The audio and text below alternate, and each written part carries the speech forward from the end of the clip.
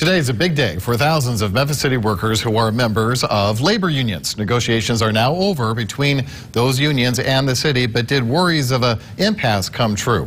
Local 24 News anchor Rudy Williams is here updating negotiations for us. Rudy?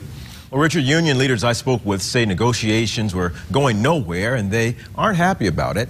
They say the meager pay increase offers made to the 13 unions representing city workers were dead on arrival.